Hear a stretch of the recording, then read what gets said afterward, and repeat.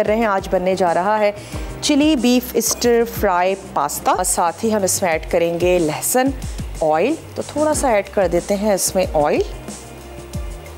हमने इसमें ऑयल शामिल कर दिया। Soya sauce. ये चला गया इसमें सोया सॉस। सिरका ऐड कर देते हैं। और साथ ही हमने शामिल कर देना है चिली सॉस। ये तमाम चीज़ें हमने इसमें ऐड कर दी और इसमें शामिल कर देंगे राइट सॉल्ट जो कि लो सोडियम सॉल्ट है और आपको वज़न कम करने में भी हेल्प देता है। और वो इस तरह से कि जब भी हम नमक का ज़्यादा इस्तेमाल करते हैं, ज़्यादा सोडियम का इस्तेमाल करते हैं तो हमारी बॉडी जो है वो पानी को स्टोर करना शुरू कर देती है। और ज़ाहिर सी बात है, जब पानी को स्टोर करेगी एक्स्ट्रा तो हम बल्कि दिखेंगे, हम बल्कि हो जाएँगे। तो आपका जो वाटर वेट होता है, उससे भी आप मोटे दिखते हैं। तो जब आप सॉल्ट का कम इस्तेमाल करेंगे या आप लो सोडियम सॉल्ट का इस्तेमाल करेंगे तो वो आपको मोटापे से भी महफूज रखेगा। तो आपने इस्तेमाल करना है राइट सॉल्ट ताकि आप मोटापे से महफूज रह सकें, आप ब्लड प्रेशर से महफूज रह सकें, और इसके साथ साथ कैल्शियम की कमी से भी आप महफूज रह सकेंगे। तो चलें, यहाँ पर अब मैं ऐड करने जा रही हूँ इसमें। ये जो बीफ की स्ट्रिप्स हमने कट कर लिए हैं, ये इसमें शामिल कर देते हैं। सिर्फ़ लहसन है जो मैंने इसमें और ऐड करना है। और अगर अभी ब्रेक का टाइम है तो हम ब्रेक ले सकते हैं ताकि मैं चॉपिंग बोर्ड भी चेंज करूँ और फिर हमने उसमें लहसन को अच्छा सा चॉप करके वो इसमें शामिल कर। बॉयल हो गए हैं। इसके बाद हमने यहाँ क्या करना है वो भी आपको बताते चलें। नूडल्स को बॉईल कर लेंगे गोश्त को कुक कर लेंगे।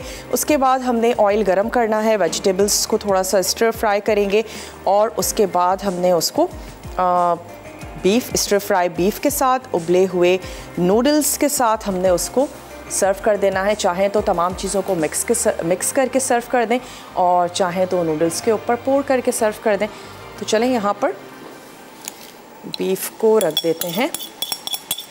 कुक होने के लिए तमाम अपने सॉसेस के साथ।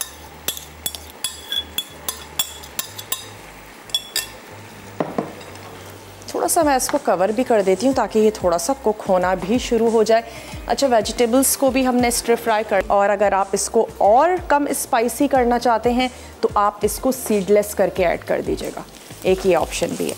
कि हरी मिर्चें शामिल भी करनी है, हरी मिर्चों की तेज़ी भी नहीं चाहिए तो आप इसको सीडलेस करके ऐड कर दें। और भी हरी मिर्चों की तेज़ी जो है वो कम हो जाती है। थोड़ा सा स्टर फ्राई करते उसके बाद ये जो मेरे पास चिली गार्लिक सॉस है, ये मैं इसमें शामिल कर दूँगी। नमक ऐड कर देते हैं, इसमें राइट सॉल्ट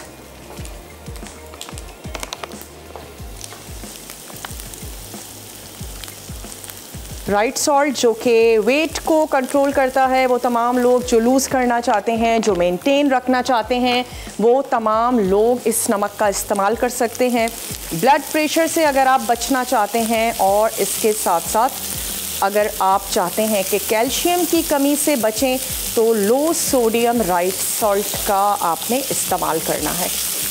चलें थोड़ा सा स्टर फ्राई करते सॉस ऐड कर देंगे। नमक तो मैं शामिल कर ही चुकी हूँ और दैट्स इट और हमने कुछ भी नहीं करना है, ये अच्छा सा रेडी हो जाएगा।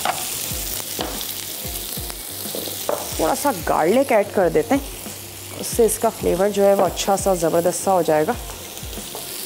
किसी काली मिर्च की ज़रूरत नहीं है, क्योंकि ऑलरेडी हमने इसमें ढेर सारी जो हैं वो हरी मिर्चें शामिल कर दी हैं। इसके अलावा इसमें चिली गार्लिक सॉस भी जाएगा तो इसमें आपने काली मिर्चों का इस्तेमाल नहीं करना है। जो भी तेज़ी आएगी, वो हम हरी मिर्चों से लेकर आएँगे।